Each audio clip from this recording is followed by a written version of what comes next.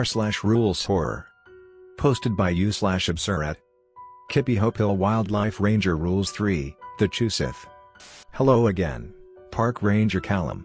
We have received the report of your daily duties at the Kippiehope Hill Watchtower and are thoroughly impressed with your commitment to your duties.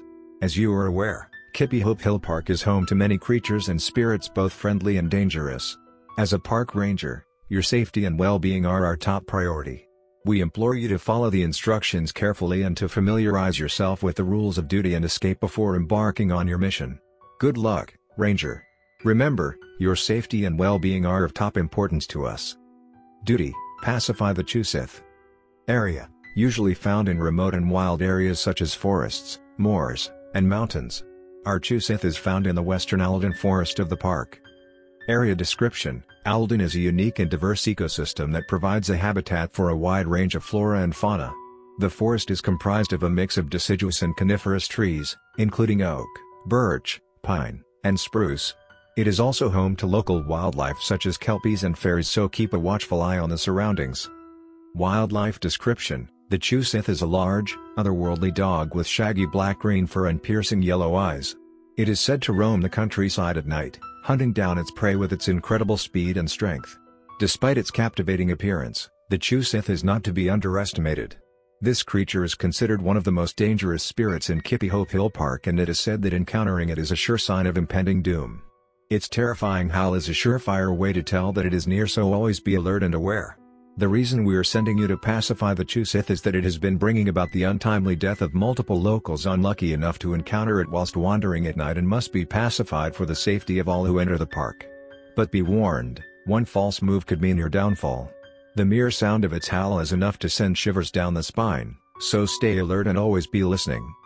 Rules for Shift Duty 1. Before leaving for the Chusith you need to take these items provided for you from the Kippiehope Ranger Watchtower. The bottle of aromatic herbs, lavender, rosemary, and sage. The music box provided for you. The whistle and walking cane. The provided cow femur bone. The 35 watt flashlight. 1. When you arrive, approach carefully. When approaching the Chusith, make sure to move slowly and quietly. Keep your eyes on the creature and be prepared for it to attack at any moment. Set down the femur bone you brought and back off very slowly. You may also notice a multitude of various frozen human and animal corpses leaning against the trees in multiple stages of decomposition. To introduce yourself, the Chusith is very much influenced by respect. Try to show the Chusith that you come in peace. This can be done by making peaceful gestures such as holding out your hands or speaking in a soft voice. State that you come in peace and wait to see if it reciprocates the gesture by nodding. If not, refer to the rules for escape. 3. At this point, you may calmly converse with the beast in a soft tone. Try not to mention the frozen bodies as it offends the Chusith. Also, refrain from talking about magic, wands or wizards as they remind the Chusith of the powerful druids of the past who are said to be able to control and banish the Chusith with their magic. Other than that, feel free to converse in polite conversation with it. 4. When you are finished talking with it, which should not last longer than 15 minutes, present the bottle of herbs and the music box as a gift. The Chusith has been noted to be a fan of soft classical music and aromatic scents. 5. You may have thought you've made friends with it but you still have many opportunities to end up as an icy statue. Back away very carefully when the interaction comes to an end. Return to your off-road ranger's vehicle and drive away but do not turn on your headlights, the Chusith is sensitive to bright lights. Rules for Escape 1. If you are referring to this section, you have managed to offend the Chusith. Although the Chusith will begin to growl, do not run. The Chusith is much faster and bigger than you so will catch you with ease. To immediately take these steps, shine the torch into its face, blow the whistle hard and throw your walking cane at it. Hopefully, it will be distracted enough not to turn you into a chew toy. 3. At this point, you will have noticed that the frozen corpses have begun to move. These are now thrall-like beings that will do the Chusith's bidding. 4. Sprint to your vehicle and make sure all the windows are closed. Start to drive and constantly check your rear mirror where you will see multiple thralls chasing you which you will want to deal with as they are strong enough to flip your car. If they catch you, they will bring you to the Chusith to turn you into one of them. You may think this is a quick fate but previous rangers have reported hearing human thralls trying to ask for help, suggesting they are still conscious. 5. Your only hope now is to escape Alden Forest as upon reaching the limits of the forest, the thralls will be more than eager to return to their enslaver. Though, once fully out of the forest, check your vehicle for thralls of small birds or animals as they can be hard to spot and lead to a nighttime visit by the Chusith who will howl to indicate that you are to die soon. Being a park ranger at Kippiehope Hill requires great caution and careful attention to the instructions provided. The Chusith is one of the most dangerous creatures in the park and requires a delicate approach when pacifying it. Always make sure to bring the provided items and follow the steps carefully to avoid offending the Chusith. If the Chusith is offended, escape is possible by following the specified escape steps. The safety and well-being of the park ranger are of utmost importance, and we implore you to always stay alert and aware while on duty. There have been previous encounters with the creature. A couple of years ago a group of locals were out on a hike and they heard the terrifying howl of the Chusith. Despite their fear, they continued, only to come face to face with the monster. The locals were no match for the Chusith's strength and speed and many of them fell victim to its deadly attacks. To this day, the encounter between the locals and the Chusith serves as a cautionary tale and a reminder of the importance of respecting and being cautious of the powerful spirits that roam the park. We, nonetheless thank you for your dedication to preserving the park, the safety of all who enter and your bravery in the face of the duties given. Yours sincerely, Park Director Boyd from the Kippiehope Hill Wildlife Ranger Corps. Next part of this story. Kippiehope Hill Wildlife Ranger Rules 4, Sean Solger. Greetings once again, Park Ranger Callum. We're thrilled to have you on the team as a qualified individual for this vital role. Your fourth shift is starting soon and we wanted to make sure you have the necessary information to perform your duties with confidence. Due to the dangerous nature of the wildlife of Kippiehope Hill, we have again provided you with another set of rules for successfully completing your important duty. If you have any questions or concerns, don't hesitate to reach out to headquarters. Best of luck on your assignment as a wildlife ranger in Gnarleton Forest. Duty, visit Sean Solger. Area, just off of South Kippy Way, by Langlock in Gnarleton Forest. Area description, a decrepit wooden hovel with its roof sagging and its walls covered in moss. A thick mist often rises from the lake which may obscure vision. The trees surrounding the hovel are tall and twisted, their branches reach out similar to gnarled fingers, as a wildlife park ranger, it is important to be aware that this area is known to be inhabited by creatures and spirits from Scottish folklore, including fairies, kelpies, and will-o'-the-wisps. It is advised to approach with caution and respect for these beings, as they can be mischievous or even malevolent. Wildlife description Sean Solger is a humanoid creature with physical traits similar to that of a human, but with notable differences that make him easily distinguishable from a typical human. He has a muscular build, standing at a short height of 5 feet with broad shoulders and a sturdy stature. Their skin is tough and leathery, with a dark green hue that blends in with the surrounding forest. He has a distinct, elongated face with sharp cheekbones, a narrow nose, and large, piercing eyes that are a bright yellow color. Their hair is long and wild, with a greenish-black color, and their hands are large and powerful, with long fingers tipped with razor-sharp claws. He is known to have a heightened sense of awareness and is quick to defend their territory and himself. However, if approached with caution and respect, he can be quite gentle and even befriend those who show him kindness. Rules for visiting 1. Before visiting Sean, check to make sure you bring these items provided for you at the watchtower. Thin iron necklace and dagger. The bag of mixed sage and salt. The shiny new set of wind chimes. The new version of the Little Book of Incantations for Rangers. First Aid Kit.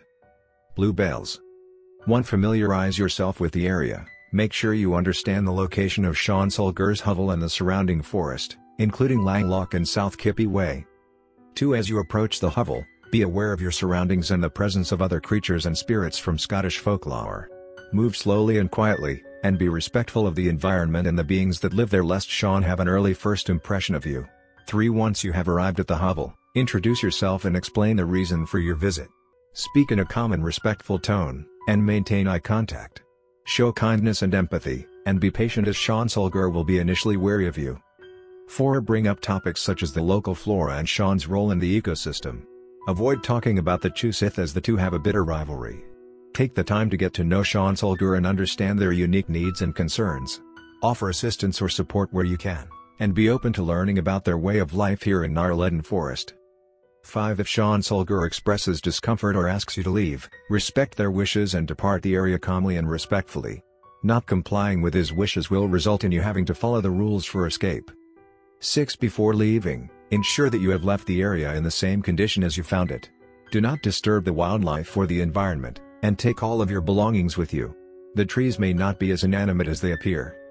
7. After your visit, make sure to report your observations and experiences to your superiors, as they will be important for understanding and managing the wildlife in the area. Oh dear. It appears you may have offended or disrespected Sean.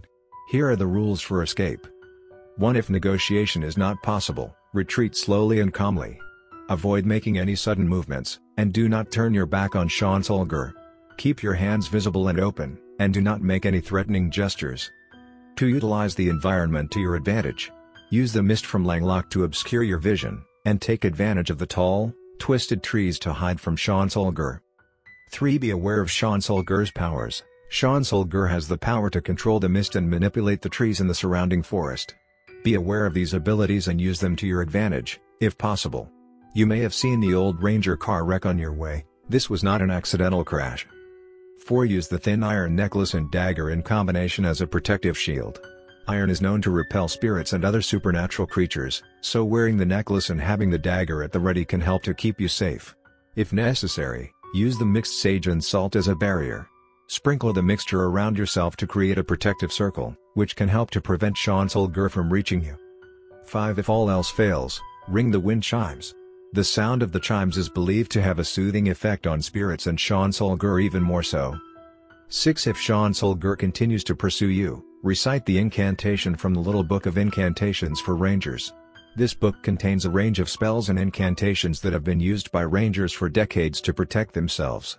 7. Make sure to bring the first aid kit with you, as you may need to tend to any injuries you sustain during your escape. 8. Finally, gather as many bluebells as you can find and use them to mark your path.